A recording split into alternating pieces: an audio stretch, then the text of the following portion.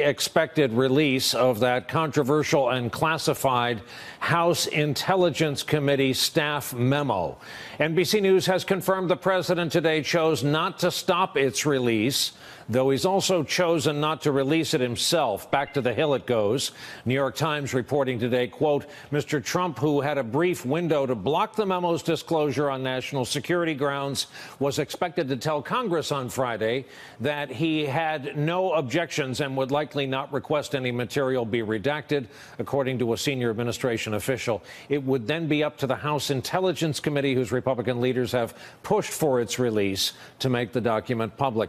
New reporting tonight by the Washington Post gives us some insight into how the president arrived at that decision, that conclusion. According to the Post, quote, before he had even read it, Trump became absolutely convinced of one thing the memo needed to come out. And that, quote, the president did not actually see the memo until Wednesday afternoon, that would be yesterday, following the committee's Monday vote to initiate its release. That was after the president was caught on a hot mic coming up the aisle after the State of the Union Tuesday night, promising 100% to release the memo. The decision goes against the strong objection, to put it mildly, of the FBI. The agency on Wednesday told the White House it has, quote, grave concerns about material omissions of fact that fundamentally impact the memo's accuracy. Republicans claim the memo proves the FBI improperly handled a court order to spy on a former Trump campaign aide and that special counsel Robert Mueller's Russia investigation is a fraud. But to Democrats, this is a highly and selectively edited, politically motivated attempt to discredit and undermine the FBI, the Department of Justice, and the overall Russia investigation. What's the most dangerous thing about this in the current context? It's this. The president is looking for a reason to fire Bob Mueller. President is looking for a reason to fire Rod Rosenstein. The bigger concern I have right now is for Rod Rosenstein.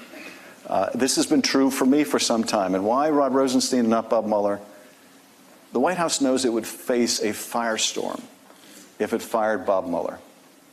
What's more effective is to fire Bob Mueller's boss. Now, according to the same Washington Post report, quote, Trump suggested to aides and confidants that the memo might give him the justification to fire Rosenstein, something about which Trump has privately mused or make other changes at the Justice Department, which he had complained was not sufficiently loyal to him. The consequences reach beyond politics here. There are also serious national security concerns, which we will talk about here this evening. Earlier today on this network, a former deputy assistant attorney general under President Clinton put it this way. Look, the distinction here, the divide is not between Republicans and Democrats or executive and Congress. It's between grown-ups and children anybody who knows anything about FBI operations would understand, party aside, this is playing with more than fire, uh, with grave risk to the national security.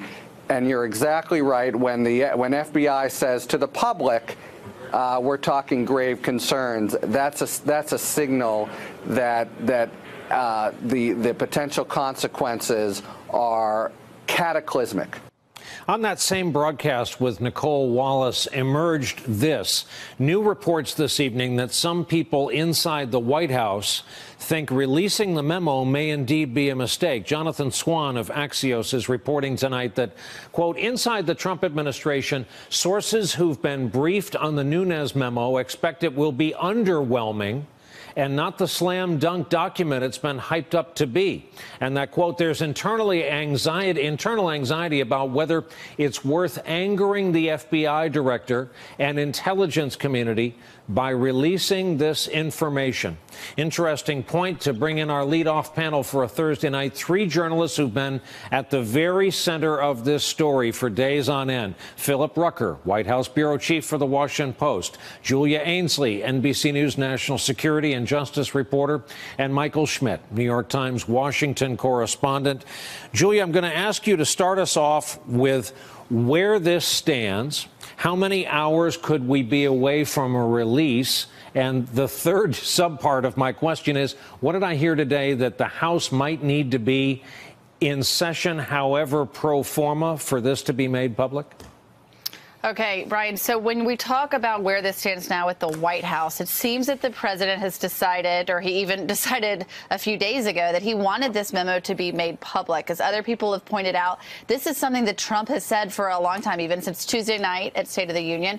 100% he wants to release this memo because he sees this as a shot against this FBI, and he sees the FBI as an insurgency against his presidency as far as where this stands with Congress, this gets a little bit complicated when we talk about all of the ways that this could possibly come out. This is still classified information. It doesn't look like the president is declassifying it. He's just sending it back to the Hill, saying he's okay with them releasing it, but they still have the problem of whether or not that they can release classified information.